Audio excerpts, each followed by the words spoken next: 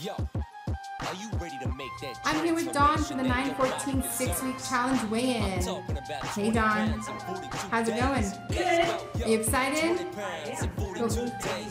Woo! All right, let's get on that scale and get started. Your start weight is 192.3, so after six weeks, you're going to be at 172.3. Good morning, Dawn.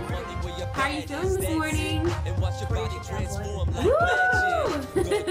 Let's see where we are on the scale after your six week challenge. All right. 170.2. Congratulations.